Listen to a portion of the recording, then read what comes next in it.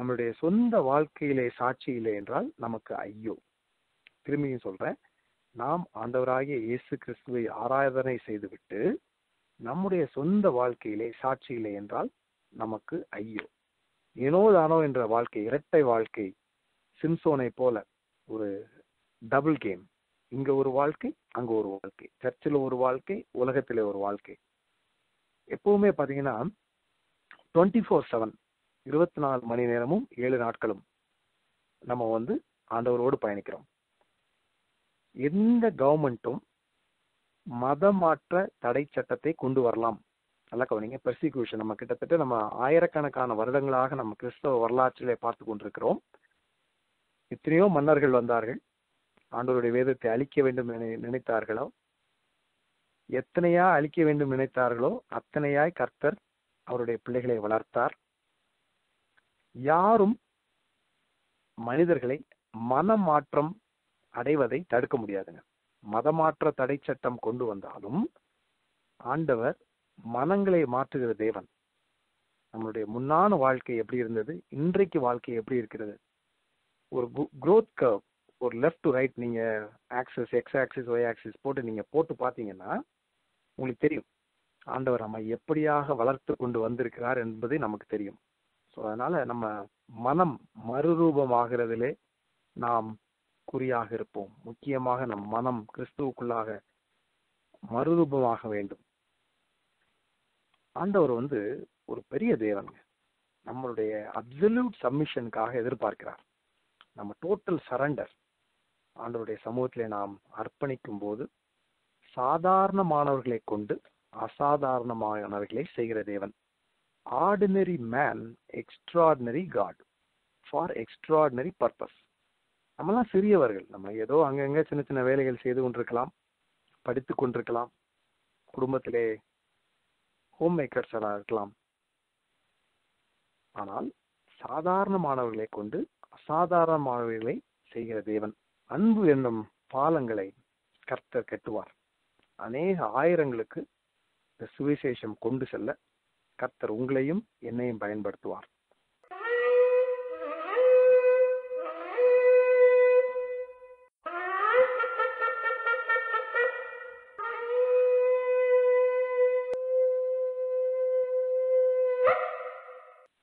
எங்கள் அன்பின் ஆண்டவரே இந்த பைபிள் ஸ்டடிக்காக உடைய சமூகத்தில் வந்து நிற்கிறோம். கர்த்தாவே உங்களுடைய வேதத்தின் அதிசயங்களை நாங்கள் பார்க்கும்படிக்கு எங்கள் இருதயத்தின் கண்களை திறந்துள்ளோம் சுவாமி. நீர் எங்களை ரட்சித்தீர் நீர் எங்களை உருவாக்கினீர் நீர் எங்களை வழி நடத்துகிறீர். நீர் இன்னுமாக எங்களை நடத்தி வருகிற அன்புக்காக உமக்கு ஸ்தோத்திரம் செலுத்துகிறோம் ஐயா. உமக்கு நன்றி செலுத்துகிறோம். ஆண்டவரே நீர் எங்களை உத்தமர்கள் என்று எண்ணி எங்களை உண்மை உள்ளவர்கள் என்று எண்ணி நீர் தந்த ஊழியங்கள் நீர் தந்த வாய்ப்புகள் ஆண்டவரே நீர் தந்த ஆசீர்வாதங்கள். கத்தாவே எல்லாம் ஆண்டவரே நாங்கள் உங்களுடைய நாமத்திற்கு மகிமையாக பயன்படுத்த எங்களை நீர் பயன்படுத்தும் சுவாமி. எப்பொழுதும் நாங்கள் உடைய வேதத்தை நாங்கள் தியானிக்கும் போதும் நீர் எங்களோடு கூட பேசுங்க. ஆண்டவரே எங்களுக்கு எங்களுக்கு ஒரு மனத்தின் ஆவியை கொடுங்க. இந்த செல்போன் சிக்னல்ஸ் எல்லாம் ஸ்ட்ரென்தன் பண்ணி கொடுங்க. ஆண்டவரே நாங்கள் இதை கேட்கிறவர்களாக மாத்திரமல்ல. ஆண்டவரே எங்கள் வாழ்க்கையிலே நாங்கள் உண்மை அனுபவிக்கிறவர்களாக அனுதினமும் உம்முடைய சிலுவையை எடுத்துக்கொண்டு ஆண்டவரே உம்முடைய பாத சுவடிகளை பின்பற்றுகிறவர்களாக நாங்கள் வாழ எங்களை பலப்படுத்த சுவாமி. ஆண்டவரே நாங்கள் ஒவ்வொரு இடங்களிலும் நீர் எங்களை சாட்சிகளாக வைத்திருக்கிறீர். ஆண்டவரே உண்மையாகவே நாங்கள் கிறிஸ்தவர்களாக கிறிஸ்துவும் அவனும் கிறிஸ்துவும் அவளும் என்று கிறிஸ்துவோடு இணைந்த வாழ்க்கை வாழ செடியோடு இணைந்த வாழ்க்கை வாழ எங்களை பலப்படுத்துங்க சுவாமி. எங்களுக்கு உங்களுடைய வேதத்தின் வெளிச்சத்தை எங்களுக்கு தாங்க. ஆண்டவரே எங்களோடு கூட பேசுங்க. மாற்றப்பட்டவர்களாக நாங்கள் கடந்து செல்ல கத்திரங்களை இந்த நாளிலே நீ நினைத்தருள நாங்கள் ஜெபிக்கிறோம் ஐயா. ஸ்தோத்திரம் பெரிய விஷயங்களை செய்யுங்க. துதிக்க நம்ம இமையெல்லாம் அம்மக்கே செலுத்துகிறோம். ஏசு ராஜாவின் நாமத்தில் வேண்டிக் கொள்கிறோம். ஜீவனோட நல்ல பிதாவை. ஆமேன். ஆமென். ஆமேன்.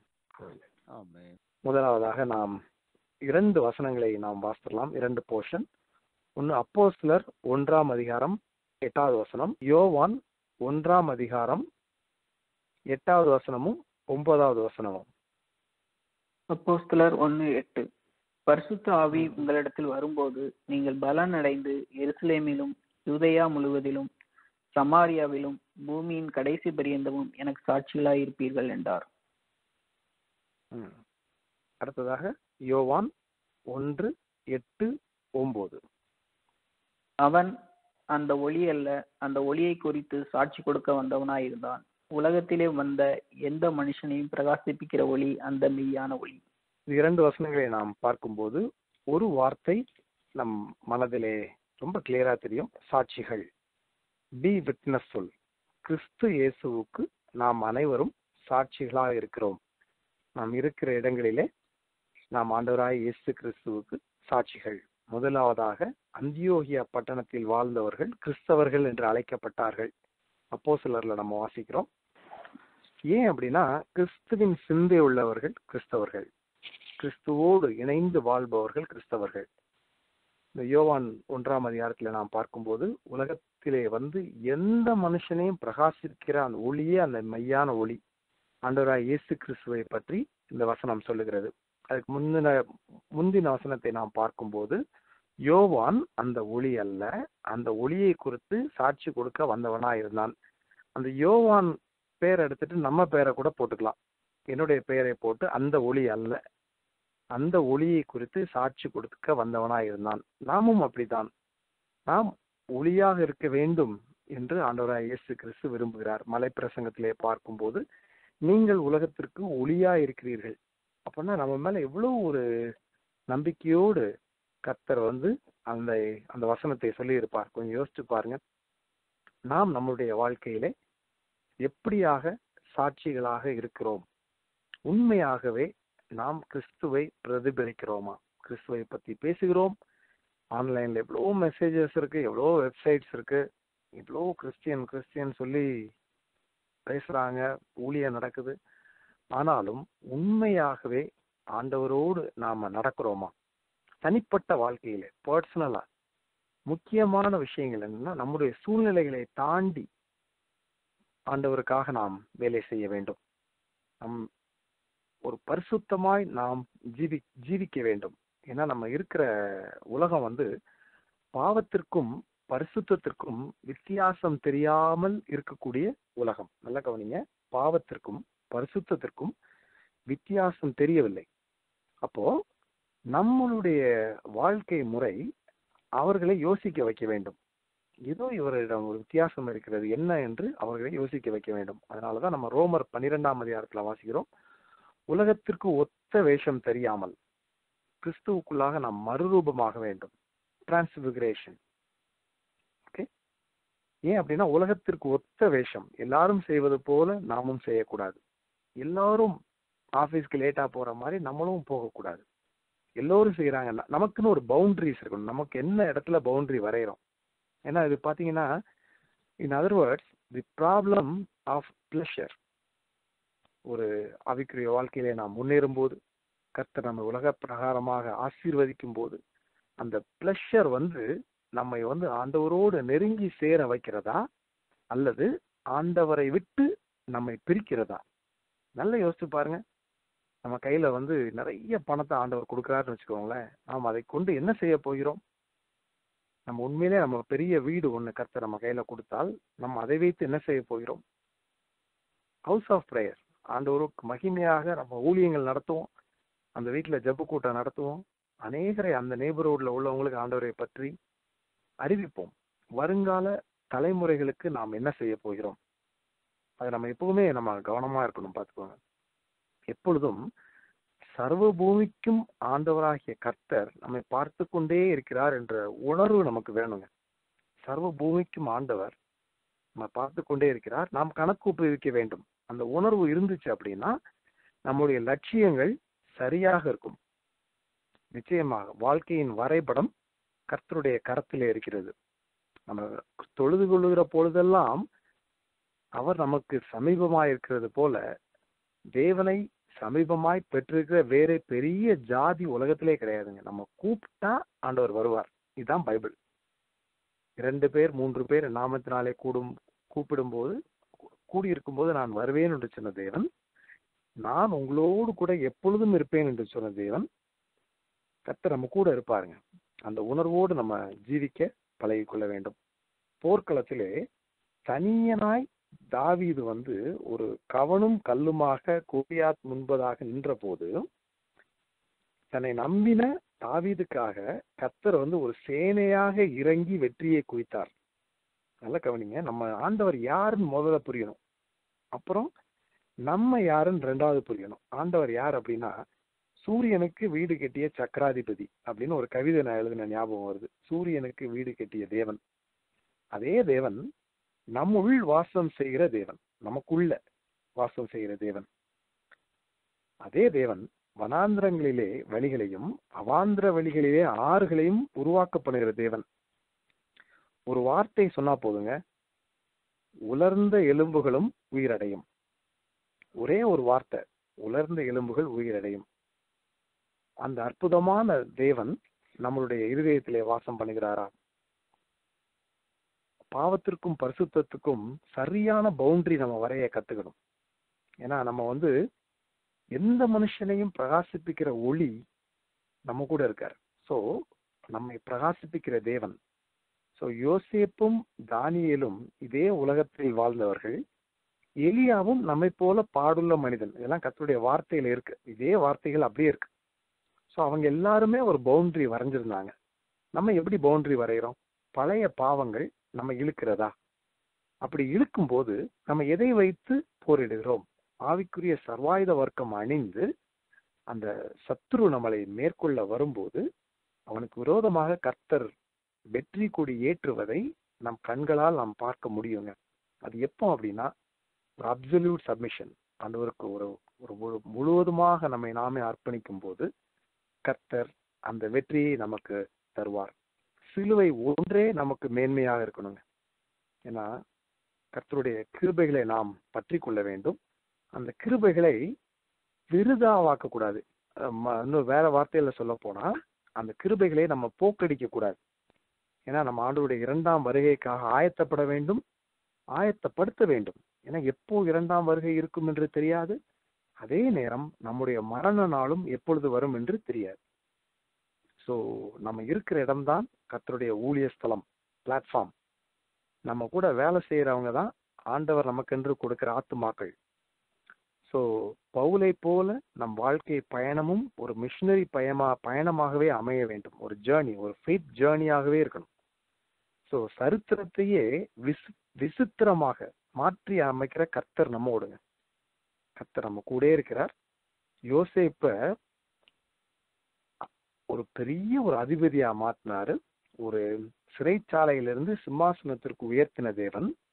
ஆனா பாருங்க மோசேய பார்வோனின் அரண்மனையிலே வளர்த்தவருங்க. ஆண்டவருடைய வல்லமை அவ்வளவு பெரிய தேவன். அதே மாதிரி பவுலையும் சீலாவையும் யார் காயப்படுத்தினாங்களோ அந்த காயப்படுத்தினவங்களை வச்சே காயம் கட்ட வைத்த தேவன். நம்ம வாசிச்சோம் உலகத்தில் வந்து எந்த மனுஷனையும் பிரகாசிப்பிக்கிற அந்த மெய்யான ஒளி ஆண்டவராய் இயேசு கிறிஸ்து.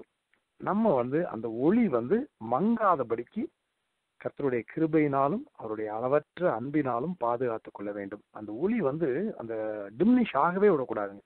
மங்கி எரியிற திரியை அணையாத தேவன். நெறிந்த நாணலை முடியாத தேவன். உலகம் என்ற மாயாபுரியில் நம்ம வாழ் வாழும்போது சத்ருவை வெற்றி கொள்ள கத்தருடைய சர்வாயுத வர்க்கம் நம்ம கூட இருக்குதுங்க.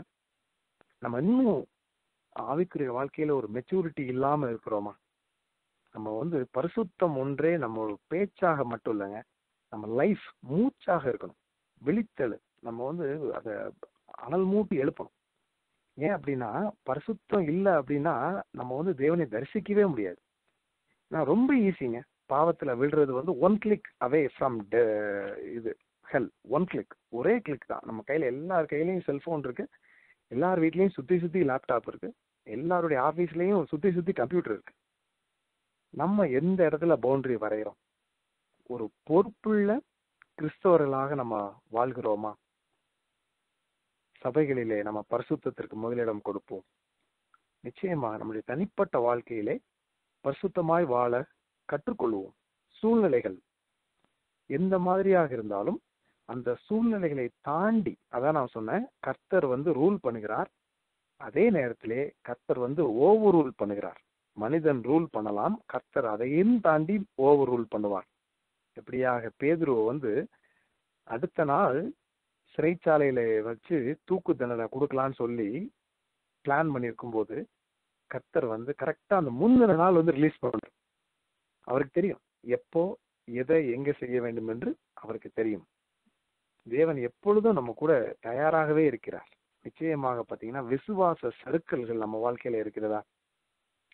கத்தருடைய வார்த்தையின்படி நம்மளுடைய விசுவாசம் வளர்கிறதா? அல்லது ஒவ்வொரு நாளும் நம்ம விசுவாச வாழ்க்கையில சரிந்து கொண்டு போகிறோமா? எப்பொழுதெல்லாம் நம்ம சூழ்நிலைகளை பார்த்து நம் பிரச்சனைகளை பார்த்து பயப்படும் பொழுது அப்பொழுதெல்லாம் நம் விசுவாச சருக்கல்ல இருக்கிறோம். விசுவாசம் இல்லாமல் தேவனுக்கு பிரியமாக இருப்பது கூடாத காரியம். ஸோ நம்ம கவனமாக இருப்போம். உலகத்தின் பார்வையில நம்ம ஆகாப் வந்து ஒரு மன்னனாக இருக்கலாம். ஒன்று ராஜாக்கள் பதினேழு நீங்க நேரம் இருக்கும்போது வாசிங்க. அதே நேரத்தில் எலியா வந்து ஒளிந்து கொண்டிருக்கிறான். அத கவனிங்க. காகங்களை வைத்து எலியாவுக்கு போஷித்த தேவன் ஆகாபுக்கு பேலஸ்ல லைஃப் கொடுக்குறாரு பாருங்க. நல்ல கவனிங்க. அப்போ அந்த சூழ்நிலைகள்ல வந்து எலியா வந்து அவரை எலியா நம்பி இருக்கிற தேவன் எலியாவை கைவிடவே இல்லைங்க. கர்த்தர் வந்து எலியா கூட இருக்காரு. நல்லா கவனிங்க. ஸோ நான் முன்னாடி அடிக்கடி சொல்லுவேன். ஆட்சி மாறினா காட்சி மாறும் அப்படின்னு சொல்லுவேன். ஏன் அப்படின்னா நீங்கள் வந்து நம்ம தமிழ்நாடு கவர்மெண்ட் எப்பெல்லாம் மாறுதோ அப்போல்லாம் எல்லா போலீஸ் ஆஃபீஸரும் மாறிடுவாங்க. அந்த போலீஸ் ஆஃபீஸர்ஸ் மாறுவாங்க கலெக்டர்ஸ் மாறுவாங்க மினிஸ்டர்ஸ் மாறுவாங்க. எல்லா ட்ரெண்டுமே மாறிடும். ஸோ நம்முடைய இருதயத்தின் சிம்மாசனத்திலே கர்த்தருடைய ஆட்சி கர்த்தருடைய சிம்மாசனம் இருக்கும்போது அந்த கர்த்தருடைய பிரசன்னம் நம்ம உள்ளத்தில் வந்துடுங்க உடனே வந்துடும் நம்ம எந்த மாதிரி நம்மளுடைய சூழ்நிலைகளை தாண்டி கர்த்தர் நம்மோடு கூட இருக்கிறார். நம்ம சூழ்நிலைகள் எதிராக இருக்கலாம் நம்ம போராட்டங்கள் இருக்கலாம். அதே நேரத்துல கர்த்தர் நமக்கு என்ன சொன்னாரோ அதை எத்தனை ஆண்டுகள் ஆனாலும் நிறைவேற்ற வல்லமை உள்ளவராக இருக்கிறார். காலேபின் வாழ்க்கையிலே நாற்பது வயதுல இருந்த பலன் எண்பத்தஞ்சு வயசுல இருக்கான். யோசுவா பதினாலாவது அதிகாரத்துல இருக்கு எண்ணாகமம் இருபத்தி மூணாவது அதிகாரத்துல இருக்கு. அதில் வாசிச்சு பாருங்க. கர்த்தர் அவர் சொன்னதை செய்தார். ஸோ காலங்களை கடந்து நிற்கிற கர்த்தர். அவர் சொன்ன வார்த்தை நிச்சயமாய் நிறைவேறும். ஸோ நம்ம சூழ்நிலைகளை பார்த்து கவனிக்கக்கூடாது. பயப்படக்கூடாது. ரைட் ஒன்றாவது. ரெண்டாவது நண்பர்கள். சூழ்நிலைகளுக்கு அடுத்து நமது நண்பர்களுடைய சர்க்கிள் வட்டம். நமக்கு யார் ஃப்ரெண்ட்ஸாக இருக்காங்க? ஃபெலோஷிப் வேற ஃப்ரெண்ட்ஷிப் வேற. நல்லா கவனிங்க. எப்பவுமே காட் வெர்சஸ் கவுண்டர்ஃபீட் காட் தேவாதி தேவன் ஆப்போசிட் கவுண்டர்ஃபீட் காட் ஆண்டவரை வைக்க வேண்டிய இடத்திலே வேற யாரை வைத்தாலும் அது கவுண்டர் ஃபீட் கவுண்டர் ஃபீட்னா தமிழ்ல சொல்ல போனா கள்ள நோட்டு கவுண்டர் ஃபீட் அந்த நம்ம கள்ள நோட்டு நல்ல நோட்டு அப்படி சொல்லலாம். ஸோ நம்ம ஆண்டவரை வைக்கிற இடத்துல யாரையும் வைக்கக்கூடாதுங்க கத்தருடைய கர்த்தருடைய வேதம் காட்டும் வெளிச்சத்திலே நம்ம வாழ்க்கையை அமைச்சிட்டோம்னு வச்சுக்கோங்களேன் நம்முடைய வாழ்க்கை வந்து பரிபூர்ணமான வாழ்க்கையாக முடியும். கர்த்தர் நமக்கு கொடுத்த பரலோக திட்டங்கள் நிறைவேற நமக்கு சாட்சியுள்ள வாழ்க்கை மிகவும் முக்கியம். முக்கியமா நம்மளுடைய நண்பர்களுக்கு முன்னாடி நம்மளுடைய வாழ்க்கை ரொம்ப ரொம்ப முக்கியம். எப்படி வாழ்றோம்? எப்படி வார்த்தைகள் எப்படி விழுது? நம்முடைய எண்ணங்கள் எப்படி இருக்கு? நம்ம எண்ணங்கள் எப்படி இருக்கோ அதான் வார்த்தைகளாக விழும். நம்முடைய வார்த்தைகள் எப்படி இருக்கோ அதுதான் வாழ்க்கையாக மாறும். மறுபடியும் சொல்றேன். நம்முடைய எண்ணங்கள் எப்படி இருக்கிறதோ அதுதான் வார்த்தைகளாக விழும். நம்முடைய வார்த்தைகள் எப்படி விழுகிறதோ அப்படிதான் நம்முடைய வாழ்க்கையும் இருக்கும். கர்த்தருடைய கண்கள் பூமி எங்கும் உலாவுகிற கர்த்தருடைய கண்கள் நம்மை பார்த்து கொண்டே இருக்கிறது. அது நம்ம ஒரு நாள் வெட்கப்பட்டு போவதில்லைங்க. கர்த்தர் நம்ம கூட இருக்கார். பரிசுத்த தேவன் பரிசுத்தமாய் வாழ கர்த்தர் நமக்கு உதவி செய்யட்டும் உதவி செய்யட்டும். ஆப்போசிட் செக்ஸ் எதிர்ப்பாளரோடு நமக்கு இருக்கிற நட்பிலே பரிசுத்தம் காணப்பட வேண்டும். நம்மளுடைய பேச்சு நம்மளுடைய இமெயில்ஸ் எஸ்எம்எஸ் எதுனாலும் சுருக்கமாகவும் தெளிவாகவும் இருக்க வேண்டும். கரெக்டா ஒரு பவுண்டரி வச்சுக்கோங்க பரிசுத்தமான ஜீவியம் செய்ய கர்த்தர் நமக்கு உதவி செய்வார். நிச்சயமாக. ஏன்னா கர்த்தருடைய பார்வைக்கு பொல்லாப்பானதை செய்ய செய்யற ஆவி நம்மகிட்ட இருக்கக்கூடாதுங்க. அதனால பரிசுத்த ஆவியானுடைய வல்லமையை நாம் சார்ந்து கொள்ள வேண்டும். ரெண்டு குருந்தியர் மூன்றாம் அதிகாரம் பதினேழாவது வசனம் சொல்கிறது கர்த்தருடைய ஆவியானவர் எங்கேயோ அங்கே விடுதலை உண்டு. கர்த்தருடைய வார்த்தை கர்த்தருடைய ஆவியானவர் கர்த்தருடைய பிரசன்னம். இப்படி இருக்கும்போது பரிசுத்தமான வாழ்க்கை. அதான் நமக்கு சொத்து. சொத்துனா அசட் கத்தரை சார்ந்து கொண்டு வாழுகிற வாழ்க்கை. தொடர் தொடர்ச்சியான வெற்றி. வெற்றியோடு வாழ நமது நண்பர்களுக்கு முன்பதாக அவருக்கு சாட்சிகளாக நிற்க கர்த்தர் நமக்கு உதவி செய்வதாக அடுத்ததாக நாம் எதிர்காலம். ஃபியூச்சர் மூன்றாவது பாயிண்ட் முதலாவது நம்ம சூழ்நிலைகள் சர்க்கம்ஸ்டன்சஸ் பார்த்தோம். கத்தர் ஓவர் ரூல் பண்ணுகிற தேவன். இரண்டாவதாக நம் நண்பர்கள் பார்த்தோம் ஃப்ரெண்ட்ஸ் அவர்களுக்கு முன்பதாக சாட்சிகள். மூன்றாவதாக நாம் இப்பொழுது எதிர்காலத்தை குறித்து சிந்திக்க போகிறோம். எதிர்காலம் யாரை நம்பி எதற்காக? நம் எதிர்காலம் எப்படி இருக்குமோ என்று ஒரு பயத்தோடு எதிர்நோக்கி இருக்கும் வாலிப ச- சமுதாயம். இப்ப பாத்தீங்கன்னா அடுத்து என்ன நடக்கும்? அடுத்து வேலை எப்படி ஆகும்? அடுத்து மார்ட்கேஜ் எப்படி கட்டப் போகிறோம்? அடுத்து என்ன நடக்கும்? அடுத்த கட்டத்தை நோக்கி.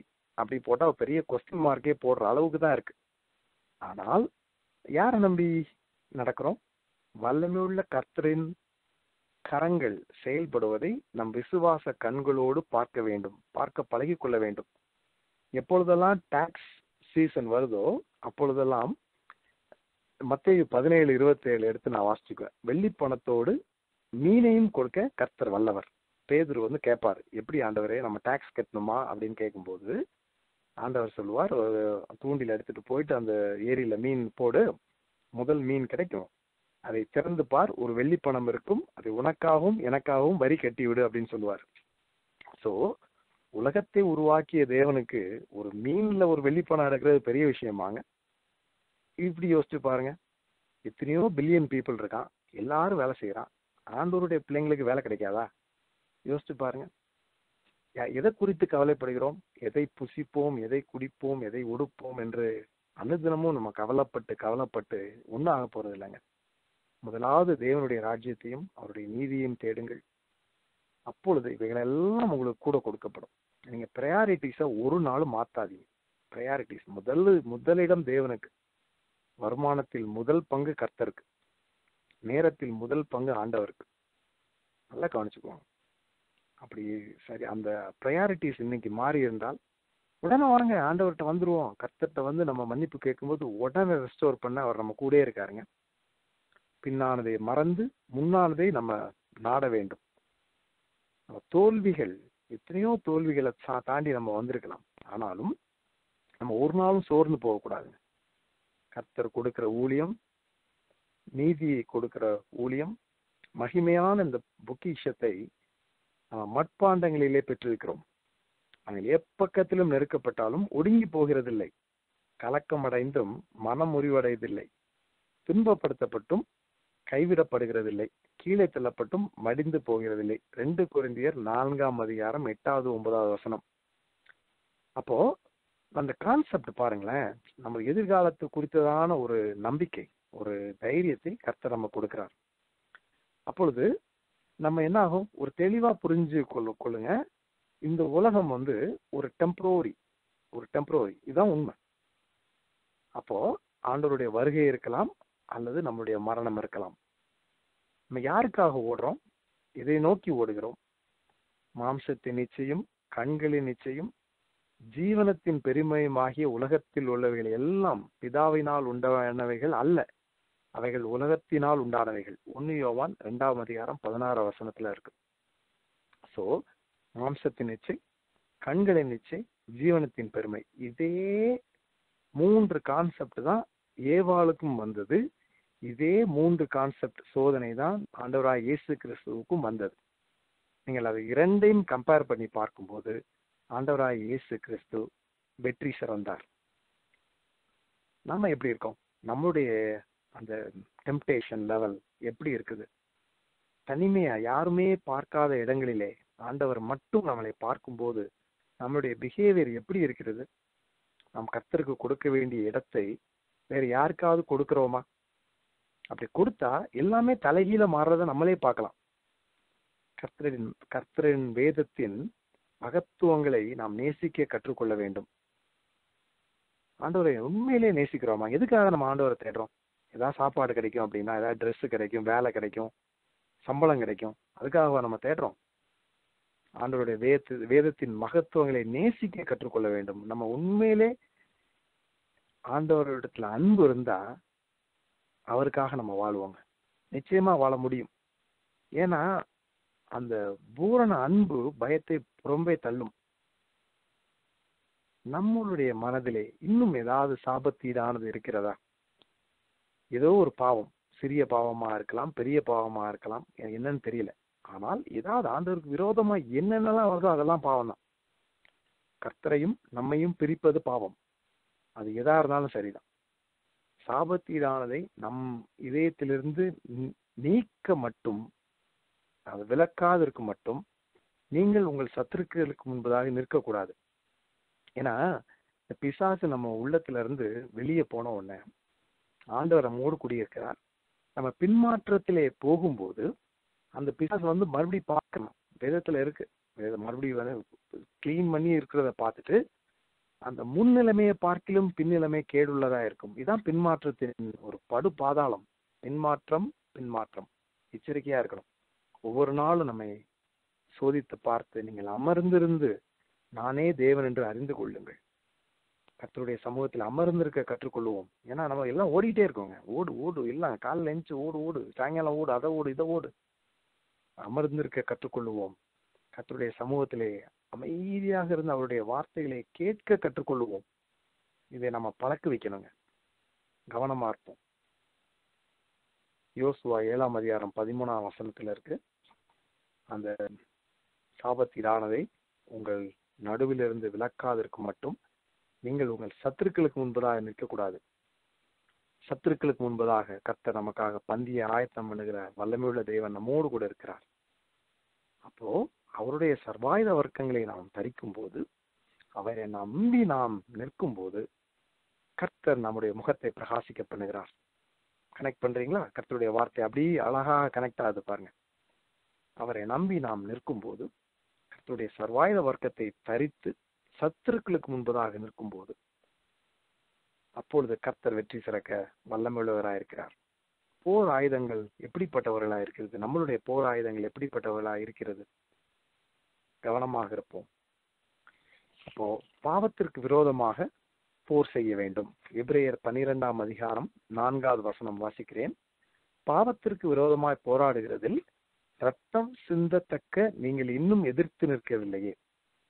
நம்மளுடைய போராட்டங்கள் மாம்சத்தோடும் ரத்தத்தோடும் அல்ல. எபேசியர் ஆறாதிகாரம் நீங்க வாசிச்சு பாத்தீங்கன்னா அவங்க நல்லா தெரியும்.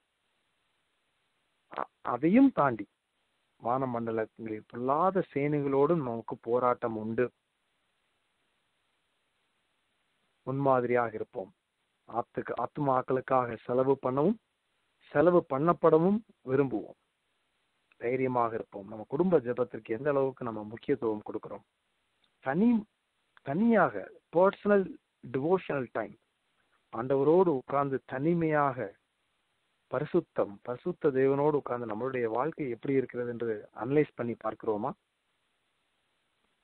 இந்த இந்த டைம்ல மனிதர்களுக்கு ஒரே வார்த்தையில சொல்ல வேண்டும் என்றால் எழுப்புதல் வேண்டுங்க.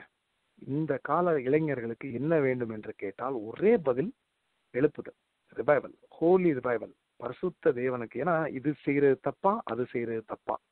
இது செஞ்சா ஆண்டவருக்கு பிடிக்குமா அது செஞ்சா ஆண்டவருக்கு பிடிக்குமா? இந்த மாதிரி ட்ரெஸ் போடலாமா? இந்த மாதிரி கேள்விகள் எல்லாம் வரும்போது ஆண்டவருடைய சமூகத்துல ஒரு நிமிடம் இருந்து ஆண்டவருக்கு பிரியப்படுத்த விரும்புகிறோமா அப்படின்னு நீங்க பாருங்க எல்லாம் சரியாகும்.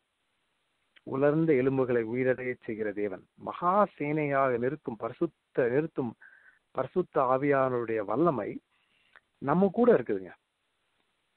சபைகளிலே கிராமங்களிலே நகரங்களிலே குடும்பங்களிலே ஒரு பெரிய எழுப்புதலை பார்க்க கத்த நம்ம கண்களுக்கு கிருபை தரட்டுங்க. நம்ம ஜோமுனோ நம்ம ஆண்டவராய ஆசா ஆண்டவராகிய இயேசு கிறிஸ்துவை ஆராதனை செய்துவிட்டு நம்மளுடைய சொந்த வாழ்க்கையிலே சாட்சியிலே என்றால் நமக்கு ஐயோ.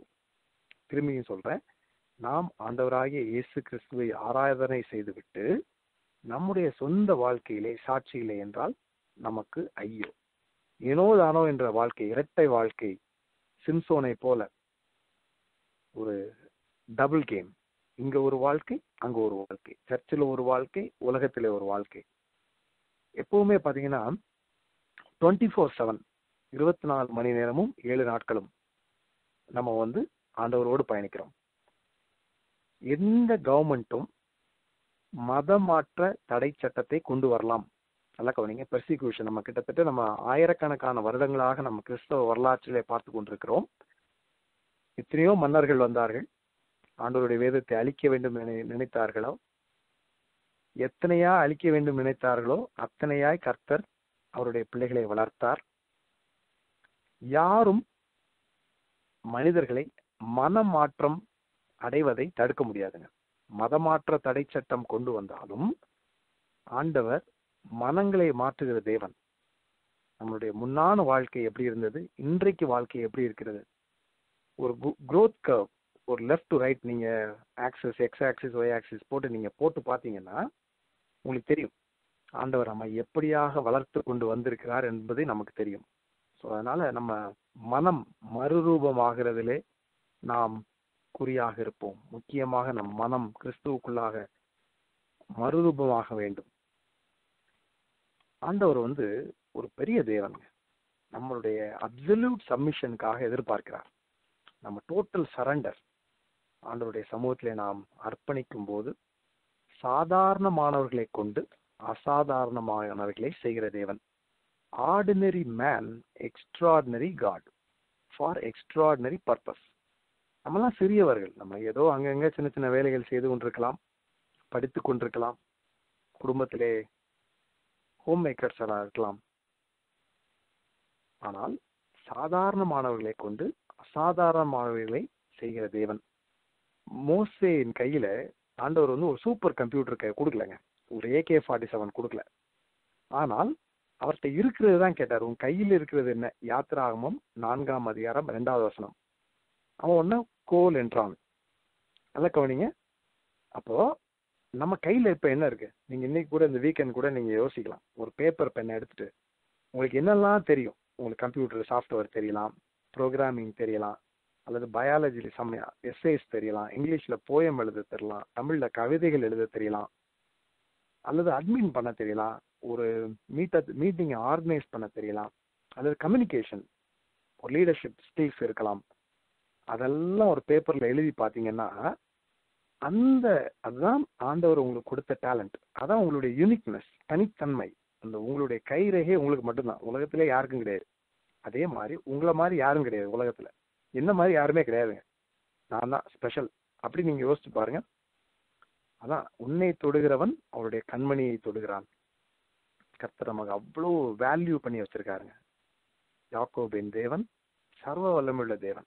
நம்ம வந்து அப்படி அந்த தேவ பிரபுவாக பார்க்கிறார். ரைட் அந்த டைன் வித் காட் அவரோடு உட்கார்ந்து சாப்பாடு. நம்ம யார் கூட உட்கார்ந்து சாப்பிட்றோம்? நம்ம டைனிங் டேபிள சுற்றி பாருங்க. அந்த மாதிரி ஆண்டவர் நம்மளை வந்து அவரோடு கூட பந்தி உட்கார வைக்கிறாருங்க. அப்போ நம்ம நாமே குறைச்சி எடை போடக்கூடாது.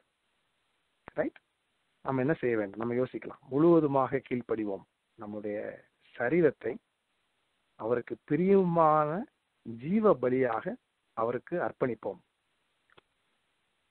ரோமர் பனிரெண்டாம் அதிகாரம் ஒன்று இரண்டாம் வசனம். பிரியமான ஜீவ பலியாக நம்மை அர்ப்பணிப்போம். மனம் புதிதாகிறதுனாலே மறுரூபம் ஆகும் அதே மாதிரி யோவேல் ரெண்டு பனிரெண்டுல இருந்து பதினெட்டு நீங்க வாசிக்கும் போது உபவாசத்தோடு ஆண்டவர் இடத்துல நம்ம திரும்ப வேண்டும். நீங்க சரித்திரத்தை நீங்க திரும்பி பாருங்க ஹிஸ்டரி எடுத்து பாருங்க. கிறிஸ்துவுக்கு முன் என்றும் கிறிஸ்துவுக்கு பின் என்றும் கர்த்தரை வந்து நம்ம ஹிஸ்டரியே ரெண்டா பிரிச்சாருங்க. ஸோ நம் மனசுல இன்னும் வெறுமையில் இருக்கிறதா? கர்த்தர் நம்ம இன்று வெற்றிக்காக அழைக்கிறார். நம் மனதில் இன்னும் வெறுமை இருந்தால் கர்த்தர் நம்மை வெற்றி பெற அழைக்கிறார். அன்பு என்னும் பாலங்களை கர்த்தர் கட்டுவார். அநேக ஆயிரங்களுக்கு இந்த சுவிசேஷம் கொண்டு செல்ல கர்த்தர் உங்களையும் என்னையும் பயன்படுத்துவார். அதனால நெகிழ்ந்த கைகளையும் தளர்ந்த முழங்கால்களையும் திரும்ப நிமிர்த்தி முடமாயிருக்கிறது பிசுகி போகாமல் சொஸ்தமாகும்படிக்கு உங்கள் பாதங்களுக்கு வழிகளை செவ்வைப்படுத்துங்கள். யாவரோடும் சமாதானமாய் இருக்கவும் பிரசுத்தம் உள்ளவர்களாய் இருக்கவும் நாடுங்கள். பரிசுத்தம் இல்லாமல் ஒருவனும் தேவனை தரிசிப்பதில்லையே. எபிரேயர் பனிரெண்டாம் அதிகாரம் பன்னிரெண்டு முதல் பதினாலு வரைக்கும். திடன் கொள்ளுங்கள். நம்ம வந்து பெரிய வியாதியே ஒரு நாள் ஸ்டேபிளா இருக்கும் அடுத்த நாள் டிப்ரெஸ் ஆயிரும். எதுக்காக? ஆண்டவருடைய ஊழியங்களை செய்யும் போது அவர் ஊழியம் அவர் கொடுத்தது திடம் கொள்ளுங்கள் வேலையை நடத்துங்கள். அதே நேரத்துல வேர்களை மறந்து விடாதீர்கள். விலாசங்களை மறந்து விடாதீர்கள். யோவான் பதினாறு அதிகாரம்.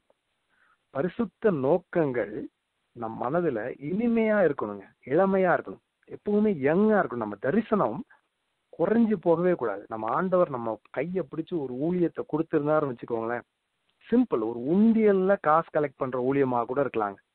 பத்து பேர் வீட்டில் உண்டியல் கொடுத்து மாசம் மாசம் போய் கலெக்ட் பண்றதோ அல்லது ட்ராக் டிஸ்ட்ரிபியூஷனோ அல்லது ஒரு பைபிள் கொடுக்கறதோ அல்லது ஆன்லைன் மினிஸ்ட்ரிஸோ ஏதோ ஒன்று உங்களுக்கு என்று ஆண்டவர் கொடுத்த ஊழியங்கள் அந்த தரிசனம் இனிமையா இருக்கணும். அதை செய்ய உங்களுக்கு ஆசை இருக்கணும். அது இளமையா இருக்கணும். இளமைனா யங். அதுக்காக முதுமை ஆகக்கூடாதுன்னு நான் சொல்ல வரல. அந்த தரிசனத்துல வந்து நம்ம குறைய வச்சுக்க கூடாதுங்க. வெளிச்சத்திற்குள் வெளிச்சம் காட்டிய கர்த்தர். அதாவது நீங்க தானியல நீங்க வாசிக்கும் போது அந்த சாத்ராக் மேஷாக் ஆபேத் நேகாவை உள்ளே போடும்போது அந்த எரிகிற அக்கினி தீச்சூடையிலே போடும்போது ஏழு மடங்கு பெர்ஃபெக்டா சூடு பண்ணியாச்சு. அந்த வெளிச்சத்துக்குள்ள ஒரு வெளிச்சம். இந்த யோசுவாவுக்கு தரிசனமான தேவன் கிதியோனுக்கு தரிசனமான தேவன் ஆபிரகாமுக்கு தரிசனமான தேவன். ஆபிரகாம் என்னாலே காண ஆசையா இருந்தான் அவன் கண்டு கொண்டான் என்று நாம் வேதத்திலே வாசிக்கிறோம். ஸோ கர்த்தர் நம்ம கூட நம்மோடு கூட இருக்காருங்க. நம்ம உலகம் வந்து இந்த நம்ம சபையில கலந்து விட துடிக்குது. இப்படிதான் சொல்லணும் அப்படி அந்த வைப்ரேஷன் இந்த ஹார்ட் பீட் மாதிரி அப்படி அடிச்சுட்டே இருக்கு. எப்போ வந்து உலகம் வந்து சபையில கலக்கிறதுக்கு இந்த பவுண்டரிஸை தாண்டி வர்றதுக்கு முயற்சி செய்கிறது. சேனைகளின் கர்த்தர் யுத்த ராணுவத்தை லக்கம் பார்க்கிறார். ஏசாயா பதிமூணு நாற்பத்தாறு சாரி பதிமூணு நான்கு. செகண்ட் போர்ஷன் பீன் போட்டிருக்கேன். ஆறு வார்த்தைனா சாரி சேனைகளின் கர்த்தர் யுத்த ராணுவத்தை லக்கம் பார்க்கிறார். யுத்த ராணுவம்னா சண்டை போடுறதுன்னா பிசிக்கலா சண்டை போடலைங்க. ஆவிக்குரிய யுத்தத்திலே. அவருக்காக நம்ம நிக்கிறோமா? நீங்களும் நானும் இல்லைன்னா ஆண்டவருக்கு வேறு யார் வருவார்? நம்ம தான் போகணுங்க நமக்காக கல்வாரியில மறுத்த தேவனுக்கு நம்ம தான் செய்யணும். நம்முடைய பரிசுத்த வாழ்க்கை சபைகளின் சரித்திரத்தில் புதிய அத்தியாக அத்தியாயமாக பொறிக்கப்படட்டும். ஒரு நியூ சாப்டர் எழுத எழுதுவாங்க. கத்தருக்காக நம்ம வாழ்ந்து அவருக்காகவே நம்ம நிற்போம்.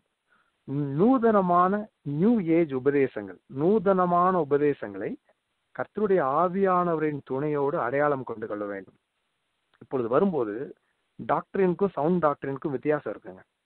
இந்த நூதனமான உபதேசங்கள் வியாபாரங்கள் விளம்பரங்கள் கரெக்டாக ஐடென்டிஃபை பண்ணிக்கணுங்க.